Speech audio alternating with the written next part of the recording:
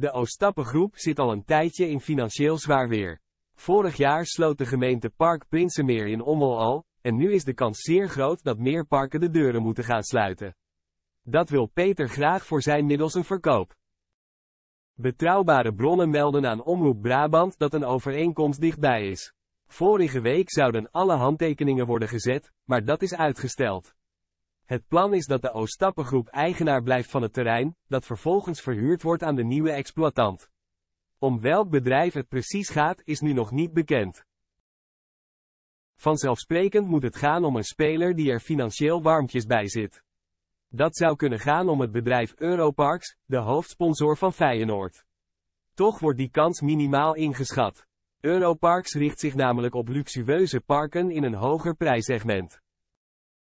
Maar wie is het dan wel? Er gaan geruchten rond over kampeerreus Cafeun. Zij hebben al 217 parken, waarvan 21 in Nederland en 3 parken in de provincie Noord-Brabant. Cafeun biedt betaalbare vakanties aan in enorm eenvoudige caravans en chalets.